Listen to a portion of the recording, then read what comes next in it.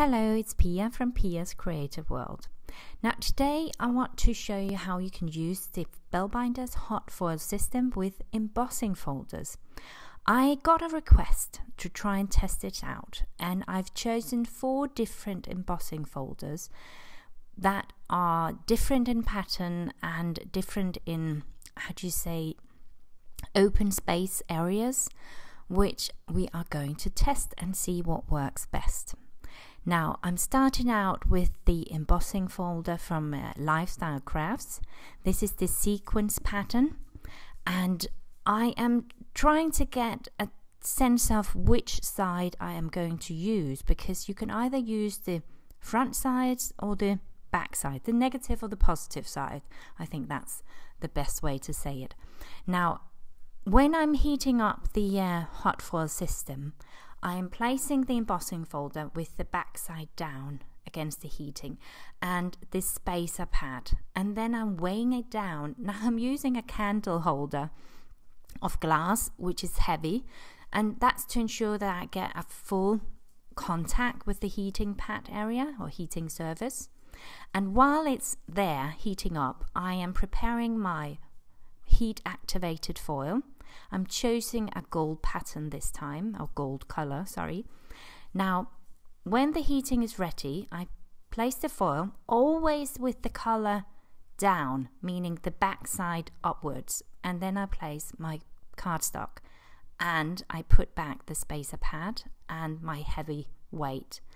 And then I push the button, the timer button, and it will continue to keep blinking green blinking as long as it's heating up or getting warmed up and ready for use.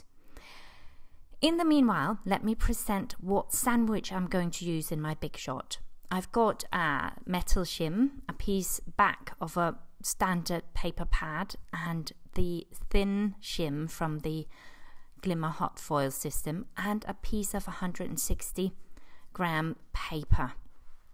This is the sandwich I'm going to use for this embossing folder and this pattern. I'm using this sandwich because I sense that the pattern in the embossing folder is um, not very big. I don't have very big open spaces. Um, and I'm showing this video in real time so you get an idea of how long it's going to take. And now the timer light stopped blinking even though it stopped blinking, I am actually going to wait a little while longer. I think it's about, it's not long, it's about 30 seconds or something like that. So it's not very long. Now, the important thing is don't forget that you have this plastic embossing folder on your heating pad. That would not be a good advice. I'm placing my sandwich on top of the spacer pad and again I'm placing the weight. I'm just doing this because Meanwhile, I'm preparing getting my big shot, my die cutting machine. I might as well keep the weight on to ensure a good full contact with the heating surface. Now I'm ready to pull out the Glimmer Hot Foil system and I'm putting the whole thing, including the sandwich, and run it through the big shot machine. I'm doing it slowly, as slowly as possible, and just going back, no, not going back, going one way first, and then when I sort of hit the point, I can sort of feel resistance. I stop and then I go back again.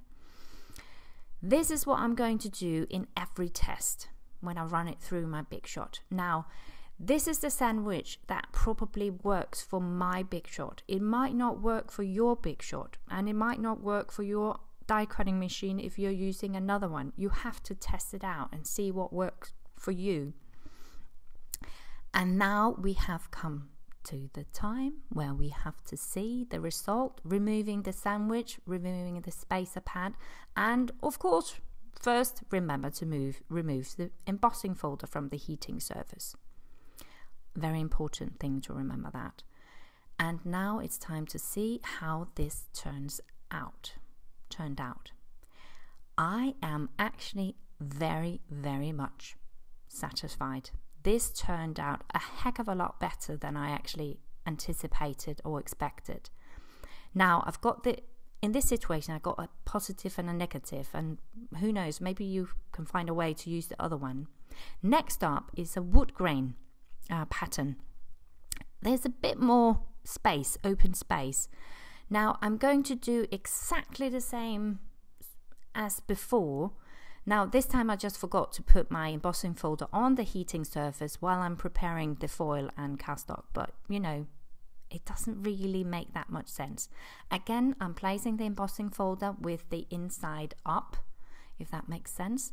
Um, as this pattern is very much alike, whether it's on one side or the other, it doesn't matter which of the insides I'm choosing. Now I've got my foil ready, I'm placing the foil again, always color side down, meaning the back side upwards and the paper on top and the spacer pad and my weight. Now I'm using this glass candle holder. You can use something else. Um, I don't know what, but actually my first idea was to borrow some of my husband's diving weights. Uh, you know those you put in your BCD vest, but we couldn't find them. So I ended up using this candlelight holder. Again, my sandwich is ready. I'm using the whole sandwich again this time because I find the pattern on the wood grain is quite narrow, um, not so big open spaces. And I'm getting the big shot ready. I'm pulling it out of the Glimmer hot foil system, and the whole thing is again slowly run through the big shot. I am again using Spellbinder's heat activated foil. Um, and I don't know about other brands of heat activated foil if they sort of react differently to the heat. I don't know. So this with this technique, it always comes down to testing. Testing and testing. Again, remember to move remove the heat eh, oh no, so remember to move the embossing folder from the heating pad. That was what I was going to say. Look at this result. It's not completely perfect, but it's absolutely usable. Next up, this one has quite a lot of big open space areas. So I'm quite a bit, I'm very curious about the result with this one. Again, I'm placing it on the heat pad, heat surface, I don't know what to call it. And while I'm preparing the foil, um, now I believe this pattern actually has quite a different look whether you're choosing the one side or the other of the embossing folder. Um, I'm trying to choose the part where I get the best looking pattern, in my opinion, but I think it comes down to personal taste, taste uh, in the end. Okay, the timer's on, it's blinking. We're waiting. Now, for my sandwich this time, I decide not to include the 160 gram paper um, because of the open space. I'm thinking, mm, I might not need that much pressure this time because extra pressure will actually make the foil hit the open space areas and then also foil those. Um, so I don't know if removing the 160 gram paper is enough, but we'll see how the result turns out. I'm quite curious about this one. It's not, honestly, I don't use my embossing folders. I don't. So this might actually be like a hooray situation to actually use them more. Now look at this. It's not it's not perfect, but it's actually okay. So if you're into that look, that steampunk look, it's actually okay. Now the last one is a Sizzix dots embossing folder. Here you also have got a bit of open space. Now, here the two sides are very different. I am first testing out the side with the small dots, trying to figure out and see, ah, it's not, it's usable, usable, but it's not perfect. You see, out in the sides, I get more pressure. It might be my big shot. So I decide to test out the opposite side, the negative side. I'm hoping that this would actually will give a better result. So while I'm heating up the embossing folder, I am preparing my foil. Now this time I'm also using Spellbinder's heat activated foil. I believe this color is called rose. I think so. This is it. I'm placing the foil color down, which means the back side upwards and the spacer pad on top.